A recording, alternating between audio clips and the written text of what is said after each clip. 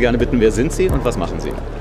Mein Name ist Simon Rolf Alkan, ich bin Gründer und Geschäftsführer von Ike Semantics, einer Software, mit der automatisierte Texte erstellt werden, durch den Autoren selbst und das machen wir in den Medien und äh, im E-Commerce vor allem. Als wir uns das erste Mal begegnet sind, 2016, war das noch bedrohlich.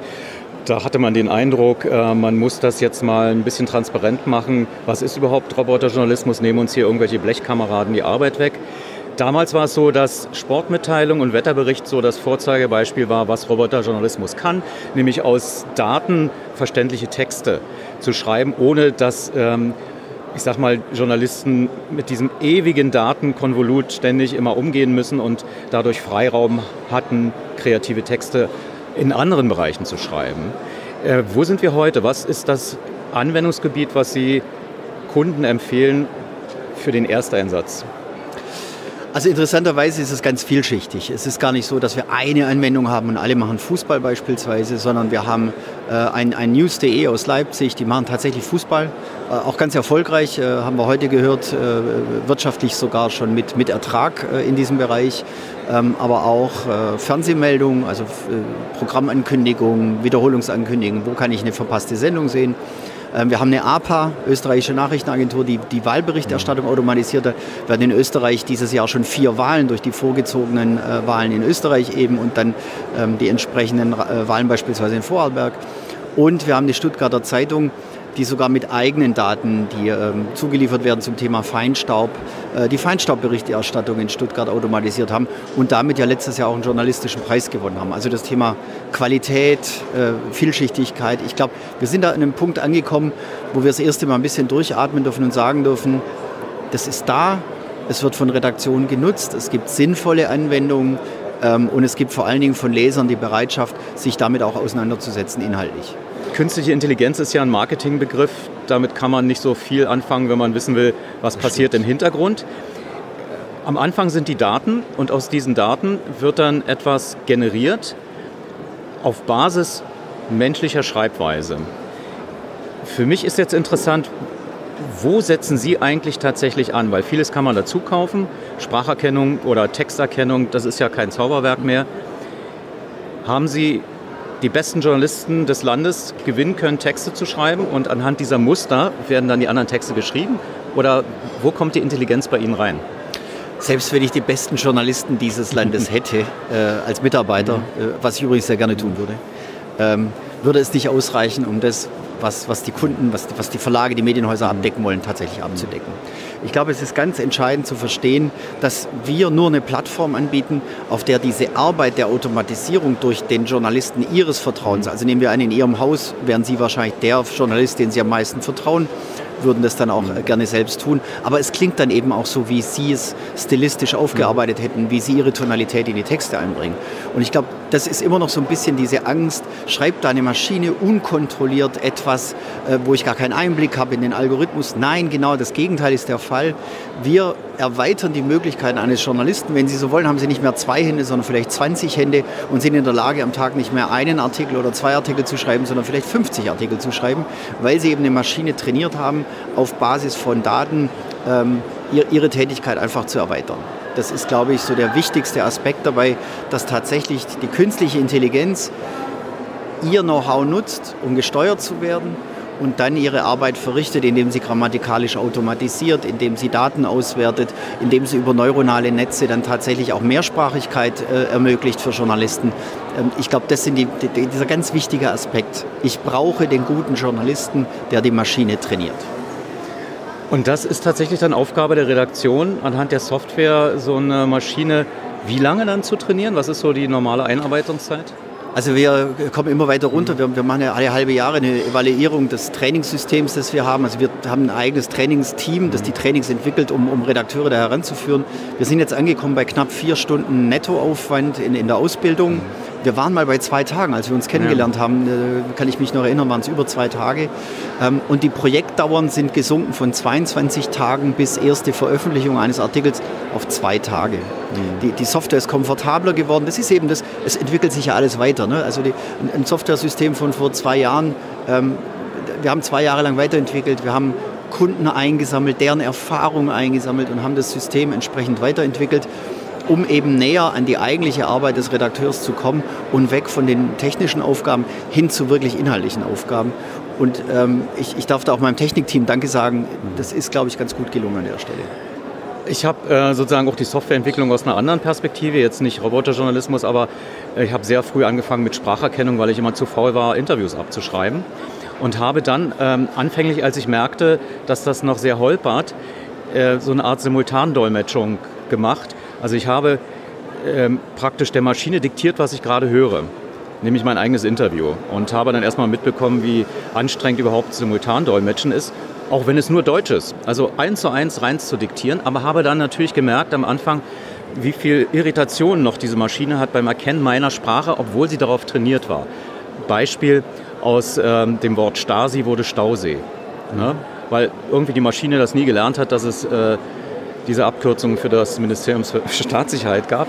Ähm, es war aber schon nach der Wende. Also es war und jetzt ist das problemlos. Jetzt werden auch äh, die Trainierungsphasen immer kürzer. Allerdings bemerkt man dann zum Beispiel bei Siri, wenn Nachrichten laufen zum Syrienkrieg, dass sich die irgendwie dann selber aktivieren. Also da gibt es immer noch Fehler. Worauf ich hinaus will, wie stark muss man das kontrollieren, was Ihre Roboter tatsächlich generieren wiederum? Also brauche ich dann nochmal einen Redakteur, der über alle Robotertexte mhm. rübergeht oder kann man diesen Texten vertrauen? Mhm. Also es ist tatsächlich so, dass, wenn wir über künstliche Intelligenzen sprechen, autonomes Fahren hat auch noch Probleme. Ähm, wir, wir, werden da auch noch eine ganze Zeit weiter trainieren müssen und die, die Systeme immer besser machen. Fakt ist, je enger der Kontext ist, in dem Sie eine KI verwenden, umso besser funktioniert die. Das ist ja klar. Also wenn ich jetzt sagen würde, wir haben hier einen, einen äh, Datensatz aus dem Basketball, aus dem Fußball oder einen Börsendatensatz, bitte schreibt mir dazu einen Börsenbericht, der liest sich wie folgt, dann ist der Kontext, in dem die Maschine die Daten betrachtet, ja bezogen auf diese Börsenberichterstattung, die Sie selbst trainiert haben. Wenn wir jetzt eine Siri im Betrieb haben und natürlich ist der Kontext, erkenne aus jeglicher Sprache, die dich erreicht, das Wort Siri und natürlich steckt in Syrien irgendwie auch das Wort Siri. Mhm. Ähm, sodass die Maschine sich angesprochen fühlt, ist der Kontext sehr weit, sehr breit. Jede Sprache, die bei mir ankommt, wird verarbeitet. Insofern reagiert die künstliche Intelligenz da richtig, aber aus unserer Sicht falsch. Mhm. Das heißt, unsere Erwartungshaltung wäre gewesen, nee, Quatsch, das war ja Syrien, nicht Siri, du darfst nicht reagieren. Ähm, je enger der Kontext ist, umso besser ist es. Also äh, ich glaube, wenn wir im automatisierten Texten und speziell jetzt in dem, in dem Bereich unterwegs sind, ähm, in dem unsere Kunden die, die Software verwenden, sind wir, was die Fehler betrifft, wirklich gut. Äh, ich will sogar sehr, sehr gut. Es bleibt ein Problem und ich glaube, das ist wichtig. Die Daten müssen gut sein. Ähm, nehmen wir ein einfaches Beispiel. Ein Fußballspiel endet 5 zu 0 äh, und durch einen Übertragungsfehler oder weil ein, ein Datentipp ist, die Daten falsch erfasst, erhalten wir ein 0 zu 5. Das ist ein dramatisch anderer Spielbericht. Einmal sprechen wir von einer Heimniederlage und einmal sprechen wir von dem Heimsieg.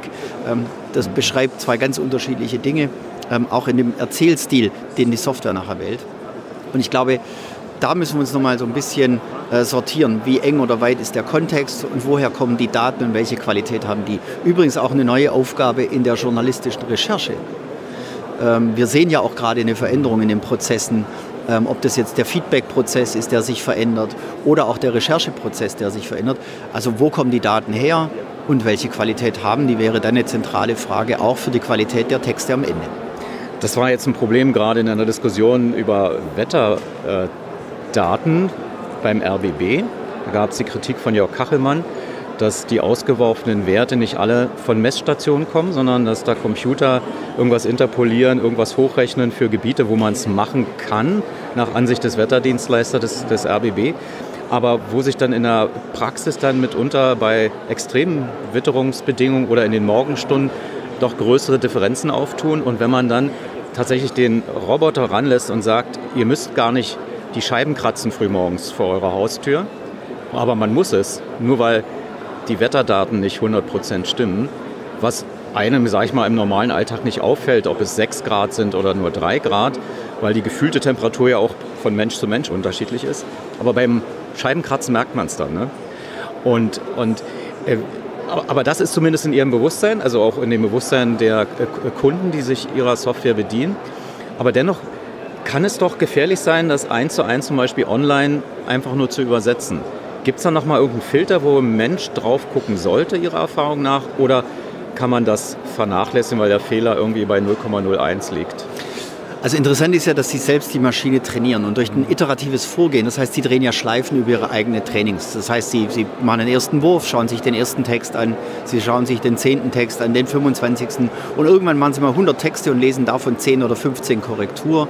Und wenn sie dann 1000 mhm. generieren und davon 20 Korrektur lesen, dann haben wir allein über statistische Verfahren mhm so einen kleinen Fehleranteil innerhalb der Texte, dass der tatsächlich vernachlässigbar ist, aus unserer Erfahrung. Was sind die größten Fehler? Eher grammatikalische Geschichten oder tatsächlich, dass da äh, irgendwie Sinn entstellt ist, ähm, transportiert Nein, Sinn entstellt nee. ist es nie. Grammatikalisch ist ganz oft ein, ein, ein Thema. Ähm, die Maschine erkennt ja beispielsweise in dem Urtext, den sie schreibt, also die Arbeitsweise ist ja, dass Sie einen Datensatz haben, bleiben wir mal bei Beispiel Wetter. Ähm, sie haben äh, die Tageshöchsttemperatur, Windgeschwindigkeiten und Niederschlagswahrscheinlichkeit und schreiben dazu einen Text. Leider wird es heute regnen, weil 80 Prozent Wahrscheinlichkeit heißt für Sie, es wird regnen, das legen Sie fest. Ähm, und wir bekommen dann den Satz, äh, natürlich wissen wir inhaltlich, es wird regnen und dann kann es passieren, dass aufgrund eines, eines Regelwerks aus dem Wird ein Werden wird. So, und mit dem Werden sind wir grammatikalisch falsch aufgestellt. Der Satz klingt auf einmal etwas äh, komisch, sieht aus wie ein Tippfehler. Ähm, tatsächlich ist einfach ein, ein, grammatisches Missverständnis entstanden und, und damit dann auch dieser falsche, wenn Sie so wollen, falsche Text. Mhm. Ähm, ich finde immer schön, wie oft wir diskutieren, ob die Maschine denn, denn immer diesen Qualitätsanspruch, den, den deutsche Redaktion im Besonderen und deutsche Tageszeitungsredaktion ganz besonders haben, äh, gerecht werden. Ähm, ich habe vor äh, ein paar Monaten ein Beispiel entdeckt ähm, aus, einem, aus einem Nachrichtenartikel aus, aus, äh, oder aus einem Wetterbericht aus Nordrhein-Westfalen. Ähm, da war die Zeile, lassen Sie mich ganz kurz überlegen, ähm, nachts scheint die Sonne eher selten. Ja, äh, definitiv vom Menschen geschrieben und der gröbste Unfug, den ich je gehört habe. Also da sind wir weder inhaltlich korrekt, ähm, noch kann ich das als, als verantwortliche Redaktion rauslassen. Aber es stand halt in der gedruckten Zeitung. Also das, wo wir alle der Meinung sind, das müsste so der höchste deutsche Journalismus sein, ähm, lese ich so einen Satz. Wir machen alle Fehler. Eine Maschine, die von Menschen trainiert wird, kann mit Fehlern trainiert sein. Die macht vielleicht mal einen Grammatikfehler. Das Spannende daran ist, wenn Sie diesen Fehler einmal beseitigen, Sie entdecken den in einem Text, Sie entfernen den, macht die Maschine diesen Fehler nie wieder. Und ich kenne genügend Menschen, denen ich sage, ich spreche von meinem Sohn, äh, bitte tu das nicht. Wie lange dauert es, bis es tatsächlich nicht mehr tut? Ja, man merkt es ja an solchen äh, banalen Geschichten. Man äh, tippt irgendwas, wie ich jetzt gerade bei den Medientagen habe das Wort Algorithmus ähm, mit einem Haar zu viel geschrieben. Schon kriegt man natürlich Feedback. Äh, das ist ja alles in Ordnung. Aber wie äh, schwach man eigentlich selber aufgestellt ist, nicht fehlerlos ist, aber bei einer Maschine nimmt man es insofern ähm, weiß, übel, ja. weil es, es, bedeutet Kontrollverlust erstens. Und zweitens ist das so eine, so eine Geschichte, äh, wozu brauche ich eine Maschine, wenn die genauso viel Fehler macht wie ich? Ne? Ja. Also dieses, ähm, auch was dahinter steckt, äh, profitorientierten Journalismus vielleicht zu machen oder, oder äh, ich sag mal auch tatsächlich Routinearbeit wegzunehmen, geht dann eben doch nicht. Mhm. Dafür sollten dann vielleicht doch Menschen ähm, eine Tätigkeit ausüben und, und was dann so ethisch dazu kommt einfach. Ne? Dass man auch äh, vielleicht Redaktionen dadurch ausdünnt, die Kommunikationshäufigkeit, ähm, das Interagieren geht runter, man fühlt sich im Großraumbüro mit weniger Leuten dann plötzlich einsamer und, und, und vereinzelt dann auch im Journalismus möglich. Also da, psychische Probleme spielen vielleicht eine Rolle. Also ich kann das nachvollziehen. Aber ähm, was mich wieder überzeugt ist, tatsächlich, ähm, eine Maschine macht einen Fehler nur einmal, wenn man diesen erkennt und dann nie wieder. Aber wie ist das jetzt, äh, anders als beim Auto, wo ja ein Fehler mitunter tödlich ist, streuen Sie vielleicht auch vielleicht Fehler ein, so wie man lange Zeit, nachdem die CD-Produktion äh, erfolgreich lief, aber merkte, das klingt zu klinisch und hat dann so Plattenknistern wieder eingearbeitet, damit es menschlicher wird. Also gibt es auch sowas, dass Sie bewusst Fehler einarbeiten? Also wir machen das nicht. Wenn, wenn, wir stellen ja die Plattform zur Verfügung. Wir haben aktuell fast 1000 Anwender, die auf der Plattform arbeiten. Ähm, das könnte schon eine Idee sein. Witzigerweise habe ich aus dem Radioumfeld sowas gehört, äh, wo Kollegen von Ihnen die ähm, nächtlichen Verkehrsmeldungen automatisieren und Papierrascheln und Atemgeräusche ah. unter die Roboterstimme legen. Also das hat jetzt nichts mit uns zu tun, weil wir generieren ja nur den Text, aber unter die Sprachausgabe wird sowas gemischt. Insofern ähm, würde es mich nicht wundern, wenn wir Kunden hätten, die versuchen durch einen Tippfehler oder durch eine... Oder Dialekte? Ähm, auch eine spannende Frage. Also äh, Österreichisch oder Schweizerdeutsch äh, können wir generieren tatsächlich. Ähm, ich habe es jetzt noch nicht probiert in Bayerisch und Schwäbisch, wobei das Schwäbische mir näher liegt. Ähm, aber faktisch müsste man schauen, äh, wenn sowas gewünscht wird, ob sowas möglich ist. Die Frage für mich ist, dass es eine ganz interessante Untersuchung aus den USA gibt.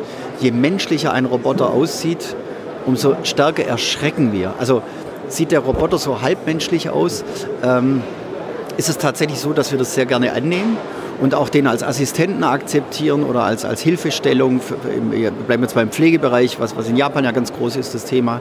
Ähm, und haben ein gutes Gefühl. Sieht aber aus wie ein Mensch. Ähm, das wurde anhand von Prothesen getestet.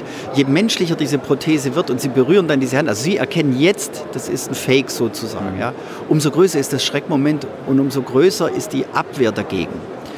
Also die Frage wäre, tut sich sozusagen eine Redaktion was Gutes, menschliche Fehler in den Text zu generieren, um, um Menschlichkeit zu simulieren und damit Fehler des Menschen nachzuahmen, um den Roboter zu tarnen oder, oder menschlicher mhm. wirken zu lassen?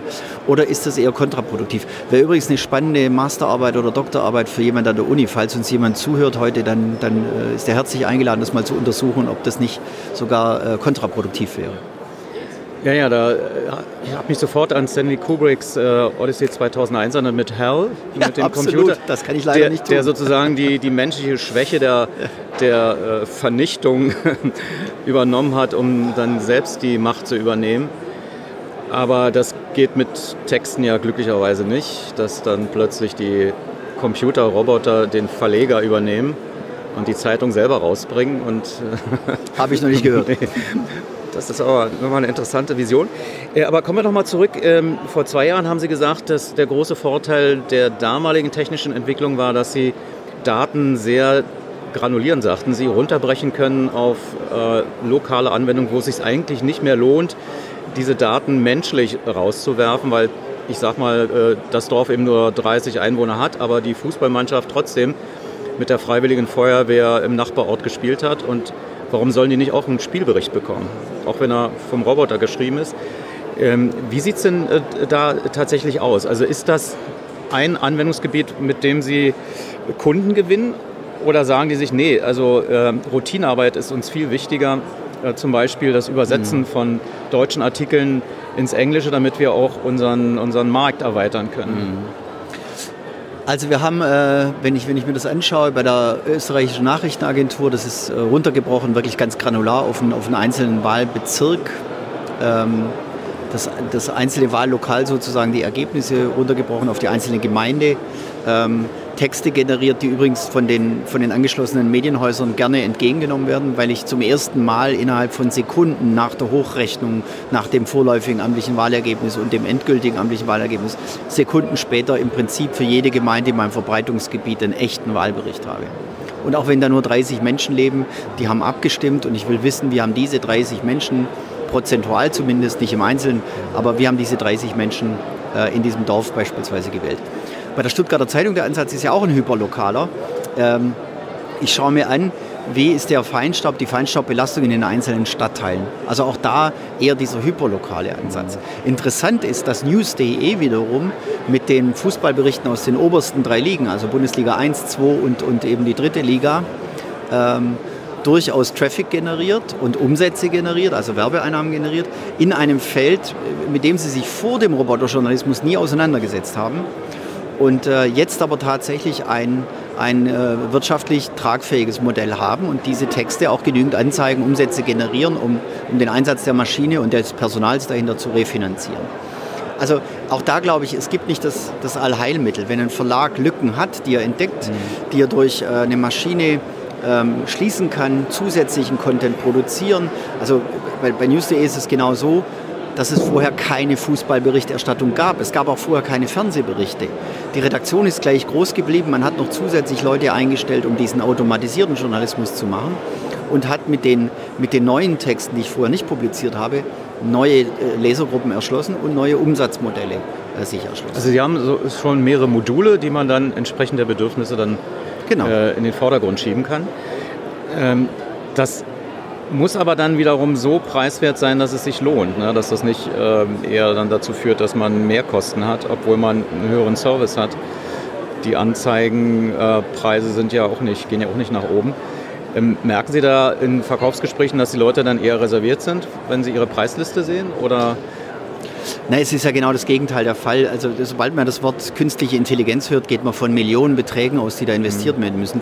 Die haben wir investiert. Mhm. Äh, und, und, haben diese Software entwickelt.